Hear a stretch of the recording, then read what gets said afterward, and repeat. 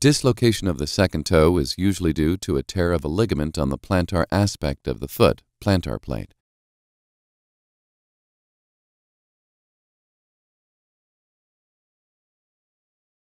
A vertical incision is made over the second toe to expose the torn ligament. A metal spoon-like instrument is utilized to prepare the working space.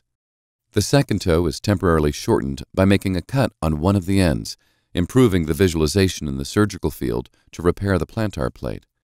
A metal wire is used to maintain that displacement. The upper remaining portion of the shortened bone, shelf, is measured and 3 millimeters is cut with a special set of pliers. A second metal wire is placed in a vertical fashion on the other bone of the exposed joint.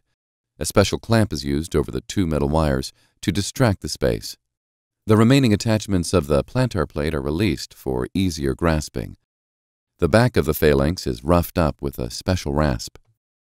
Strong sutures, FiberWire, are passed through the plantar plate with the use of a special clamp, scorpion, or suture passers. A grasp stitch is obtained to pull on the plantar plate.